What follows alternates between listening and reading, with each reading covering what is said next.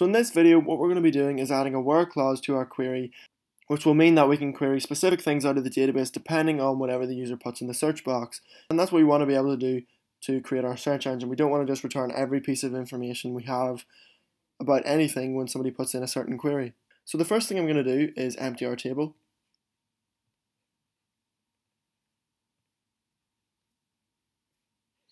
And then what I'm going to do is I'm going to import um, the index table I already have with things in it because it has a thousand websites already crawled. And before I do that, I just want to make note of something. You can see here URL hash. We had originally planned to uh, create it to be unique, so there you go. It's just been converted to being a unique uh, field now. That would mean that the uh, SQL server wouldn't allow me to insert two URL hashes that are the same. The reason for that was because in the prototype I created before the series, there was problems with inserting duplicate URLs and things like that. But as it turns out, in the modified version we made in the videos, we don't actually need it. So we don't really need URL hash. We can take that out and change it to URL so that in our queries, uh, if you look here, you can see in our queries, we are just updating URL. So we're saying where URL is equal to URL. We don't actually need URL hash anymore. So what I'm going to do is first delete this table. I'm going to click drop to get rid of that table. That drops the table. And then I'm going to click import and I'm going to import a table that already has records in it. So here I have a table that already has lots of records in it. So I'm going to click open and I'm going to upload that to phpMyAdmin. Then I'm going to go to structure and I'm going to click browse. You can see if I go to structure again, the difference is uh, URL hash is 40. You can just change that or you can get rid of URL hash if you want. Other than that, the table is exactly the same as our old table, but it has lots of uh, websites already in it. It has pages and pages. It has 49 pages of websites. Go to this random page, and you can see uh, we have just random websites that I've already crawled. So now if I just refresh this, you can see we get a lot more return to us. It's uh, taking a lot longer, but there you go. We have a lot more returned. So what we're going to do is go to search.php and we're going to say where title is like, and we're going to use the MySQL like operator. And the way this works is we're going to say like, and we're going to pass it a string. So I'm going to use the single quotes to pass it a string. So if I put in a percent sign, and I put an A before it, this means that the MySQL will return anything that starts with an A and has any characters after it. If I put a percent sign on either side of the A, what it's going to do is return anything where there's any letters either side of it and there's an A in between.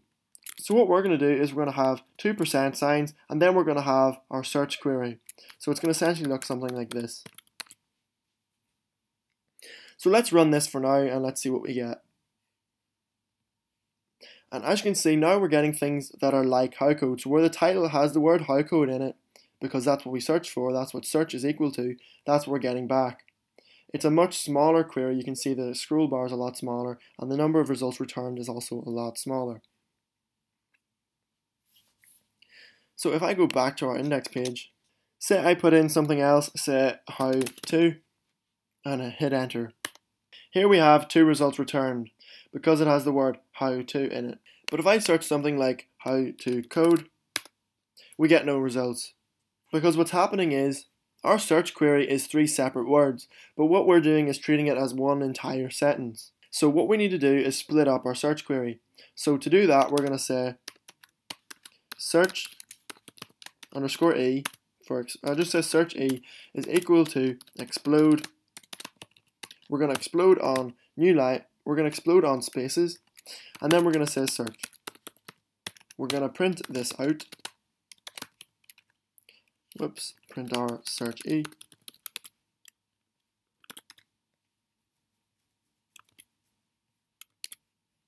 We're going to run this, and you can see we get three items in this array.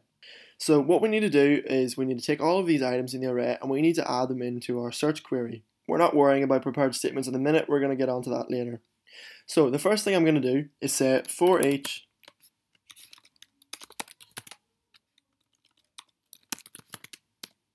search a as term because we're going to refer to each keyword as a term. And up here we're going to create a variable called x and it's just going to be incremented. And we're going to say x plus plus to increment x by 1 every time. Then what we're going to do is we're going to say if x is equal to 1, we'll do one thing, otherwise we'll do something else.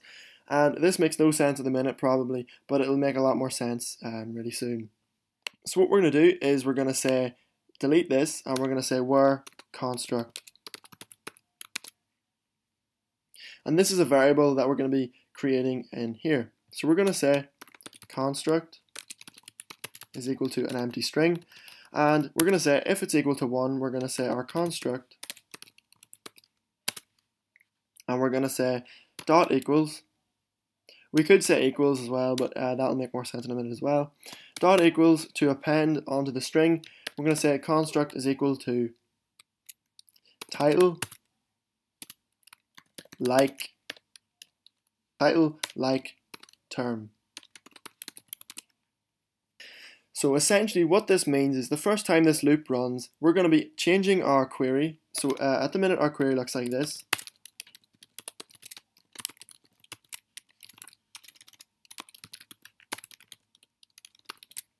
And at the minute there's nothing.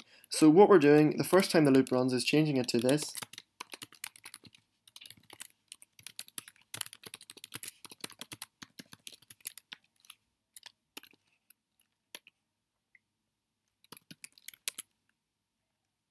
The first time it runs, this is the query it's going to create.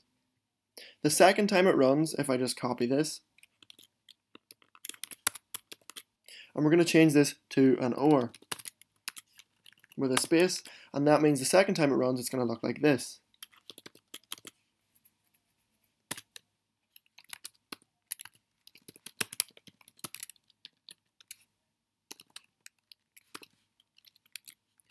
And we're going to do it one more time. The third time it runs, it's going to look like this.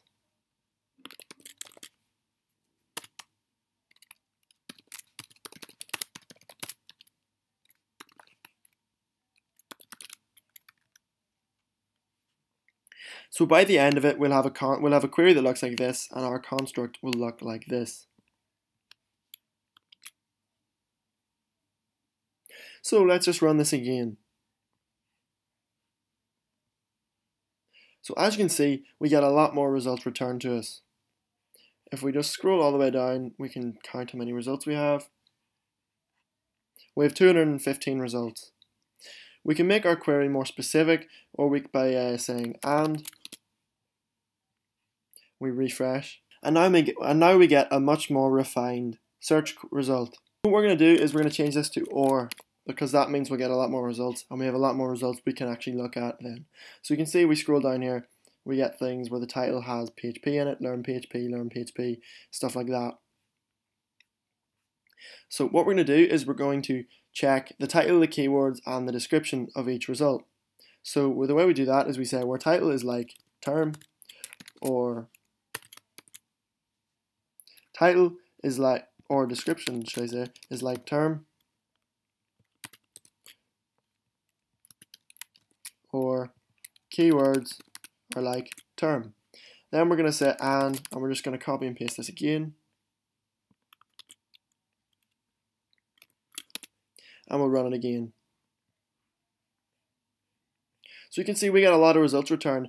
That's because one useful thing is when you get a lot of results returned is you can use PHP to check all of the results and check which is most relevant.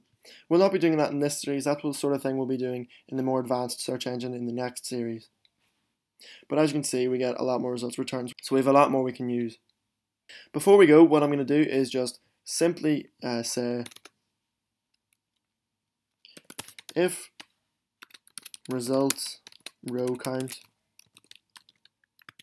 is greater than zero, echo this, otherwise echo something else. So we'll say echo zero results found and we'll just put a new line, uh, line underneath that. Or else we'll say echo. Results.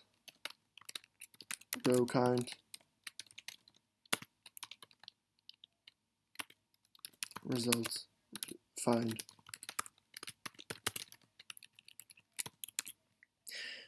I will just print this out and see what we get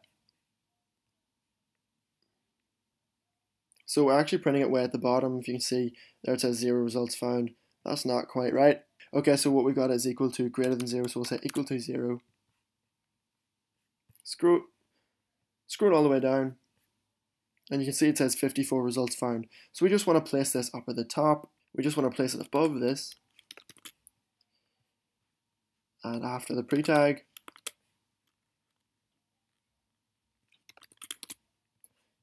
refresh, and you can see it says 54 results found, and here we have all of our uh, results. So that's it for this video. Don't forget to like, comment, favorite, and subscribe. In the next video, what we'll be doing is using prepared statements to make our queries a lot more secure. So thanks for watching, and I'll see you next time.